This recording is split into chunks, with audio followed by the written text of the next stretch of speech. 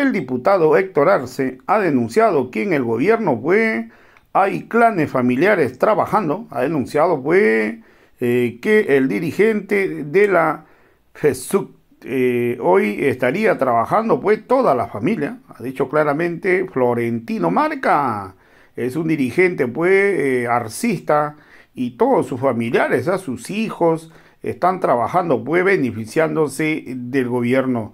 También el diputado Arce ha denunciado que el gobierno está buscando de hacer aprobar el, el presupuesto 2023 reformulado, pero hay una disposición, la séptima disposición, es una disposición pues que atenta contra el pueblo, es una ley para perseguir al pueblo boliviano, la verdad que ha dicho el rechazo total a estas pretensiones, pero lo más, eh, o sea, lo que aquí hoy, lo más crítico es que están movilizando, están movilizando alcaldes, están movilizando organizaciones para buscar y amedrentar a los asambleístas y puedan aprobar las leyes que ellos quieren, pero a presión. Vamos a escuchar pasajes de estas declaraciones. El día de hoy queremos denunciar eh, principalmente al pueblo cochabambino de cómo don Luis Arce Catacora en su condición de presidente copta a los dirigentes prebendalmente. Copta a los dirigentes con plata o con pega, con el objetivo de someterlos y eh, estén en línea con este gobierno. Tenemos acá a don Florentino Marca, miembro de la Federación Sindical Única de Trabajadores Campesinos de Cochabamba, quien tiene a su hermano trabajando Grover Marca Huanca en el Ministerio de Defensa, que es su hermano como apoyo administrativo con un sueldo de 4.529. Asimismo, tenemos a Ana Fabiola Marca Llanos, hija de Florentino Marca, de profesión psicóloga, trabaja en el Ministerio de Salud y Deportes, con un sueldo de 5.741. Por otro lado tenemos a Antonio Florentino Marca Llanos, que es su hijo de Florentino Marca, con un sueldo de 9.510 bolivianos mecánico. Y Florentino Marca está como responsable coordinador departamental político de Lucho Arce, con un sueldo de 16.060 bolivianos. Es un dirigente que ha estado varios años en la dirigencia y hoy utiliza este cargo de dirigente para poner a todo su entorno familiar en las diferentes instituciones, sumando hace un total de 35.840 bolivianos, es decir, más de 5.000 dólares al mes entra a esta familia. Y no solo es esto, tenemos información de que otros familiares están en condición de consultores en las instituciones públicas. Entonces, es la forma como don Lucho Arce agarra, capta, subordina, chantajea, extorsiona a los dirigentes con pegas o con plata. Acá tenemos las declaraciones juradas de cada uno de ellos. Hemos verificado que efectivamente sea su hermano y sean sus hijos. Y estos, estas denuncias los vamos a ir presentando una vez por semana. Hay dirigentes que han cobrado muchísimo dinero por cargos, por sueldos que van poniendo en las instituciones. Hay dirigentes que cobran por poner a un joven para que haga su servicio militar y esas denuncias ya nos han llegado. Realmente es una vergüenza total como hoy don Lucho Arce prevendaliza. Pero no solo es eso. Tenemos acá la resolución de la Central Regional de eh, Capinota, Sicaya, donde desconocen a este dirigente. Mandan una resolución a la única para que él no pueda ejercer ningún cargo más. Pero al contrario, dicho dirigente, imagínense el poder que tiene este dirigente. Florentino marca con un sueldo de casi dos mil dólares cada mes, pero además a toda su familia trabajando en las instituciones.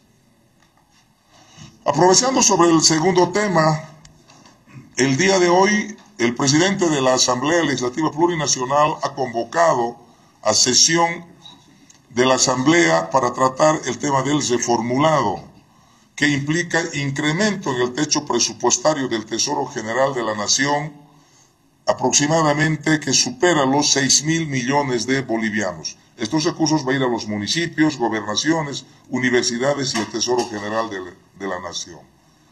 ¿Qué es lo que llama la atención? Como es habitual, don Lucho Arce, a través de la presión, el amedrentamiento, ha coordinado con la FAM, con la familia municipalista, para el día de hoy y a nivel de concejales, cercar la Asamblea Legislativa Plurinacional. Y a través de esta presión, hacer aprobar este reformulado. Queremos decirles con absoluta firmeza y con la más absoluta verdad, estamos de acuerdo con aprobar ese reformulado que implica plata para gobernaciones, municipios, universidades. Lo que no estamos de acuerdo son con esos siete disposiciones adicionales que de manera ilegal y por contrabando, don Lucho Arce quiere hacer aprobar en esta ley. Me voy a concentrar solo en la disposición adicional séptima.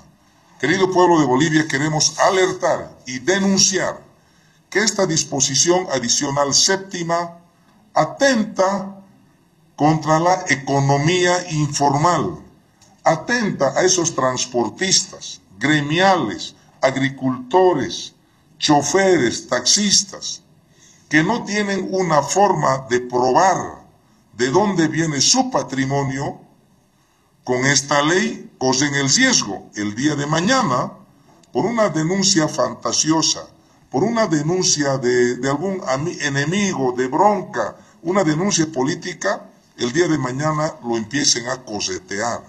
¿Por qué decimos esto? Porque en esta disposición adicional séptima se indica que los servidores públicos que accedan de manera ilegal, metan su mano a las cuentas de las personas, no van a tener ninguna responsabilidad administrativa, civil ni penal. Van a poder, no sé, yo puedo decir, Juanito Pérez, ¿de dónde tiene una casa? ¿Por qué tiene dos vehículos? Investíguenle. Solamente con eso le digo al funcionario y dice que el funcionario va a actuar de buena fe y va a empezar a revisar. Entonces, querido pueblo de Bolivia, yo denuncio este atropello que pretende hacer este gobierno de lucharse para que el día de mañana, por una denuncia política de algún enemigo, por una denuncia fantasiosa, le van a empezar a investigar sus cuentas, sus recursos, y si no tiene no va a poder demostrar, porque obviamente usted no emite factura, van a tener que congelarle sus cuentas, le van a embargar sus bienes. Ese es lo peligroso, uno de los eh, eh, disposiciones adicionales más peligrosos que tiene este proyecto de ley. Por esa razón, personalmente, todavía no hemos tomado una decisión, este diputado no va a aprobar este proyecto de ley si no retiran esta disposición adicional séptima principalmente. Nuestra obligación es cuidar al pueblo boliviano. El derecho a la propiedad privada está en la constitución política del Estado. Y no puede ser que de manera tendenciosa, política, dañina, el día de mañana las bolivianas y bolivianos estén siendo perseguidos. ¿Cómo van a proceder en cuanto a la presión que hay ahora en, la paz? Usted habla incluso de que van a acercar, un rechazo podría ocasionar en, esta situación, Bueno, nosotros tenemos ciertas prerrogativas como diputados, como senadores, y obviamente ahí la Policía Nacional está en la obligación de resguardar, garantizar el trabajo de todos los parlamentarios, el ingreso, la salida y obviamente el debate legislativo que el día de hoy se va a realizar. Y toda esa seguridad está a cargo de la eh, directiva, tanto del Senado, de diputados, pero principalmente el día de hoy, esa asamblea, por tanto, la seguridad y resguardo está a cargo del señor David Choquehuanca. Muchas gracias.